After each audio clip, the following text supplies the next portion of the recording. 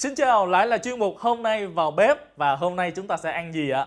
Một bữa tiệc lẩu với hai loại nước lẩu khác nhau. Ví dụ gia đình của quý vị, à, các bé thì thích ăn lẩu ngọt, à, lẩu nấm, lẩu xương chẳng hạn. Ba mẹ thì thích ăn lẩu cay. Vậy thì làm thế nào để chúng ta có thể đáp ứng được yêu cầu của hai nhóm đối tượng khác nhau ạ? Chúng ta sẽ có ngay một chiếc nồi lẩu được gọi là lẩu uyên ương, nồi lẩu điện đa năng viết với thiết kế hai ngăn riêng như thế này. Một bên là sẽ nấu lẩu cay dành cho người lớn, một bên là nấu lẩu ngọt dành cho các bé quý vị nhé.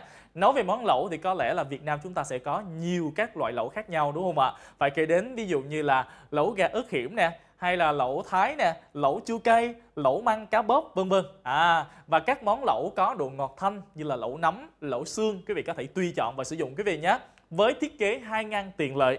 Đây là nồi lẩu điện, quý vị có thể đặt ngay trên bàn tiệc và cắm điện vào, sau đó tùy chỉnh nhiệt độ, tăng nhiệt độ hoặc là giảm nhiệt độ tùy theo nhu cầu sử dụng quý vị nhé. Như vậy là chúng ta sẽ có ngay một bữa tiệc lẩu giống như là ăn tiệc ở ngoài những à, nhà hàng lẩu mà chúng ta hay ăn theo phong cách Hàn Quốc đúng không ạ? Nóng hổi, vừa thổi vừa ăn ăn đến đâu, nhúng rau đến đó, nhúng mì đến đó, rất hấp dẫn và thơm ngon, đúng không ạ? Nhờ có nồi lẩu này, cuối tuần quý vị có thể tổ chức những bữa tiệc thơm ngon dành cho các thành viên trong gia đình. Những dịp lễ tết hay gia đình có sinh nhật nè, kỷ niệm ngày cưới, có thể tổ chức thật nhiều những bữa ăn ngon, quý vị nha. Nhớ follow kênh tiktok của scjmon để biết thêm thật nhiều các dụng cụ gia dụng bếp tái gia của mình nha.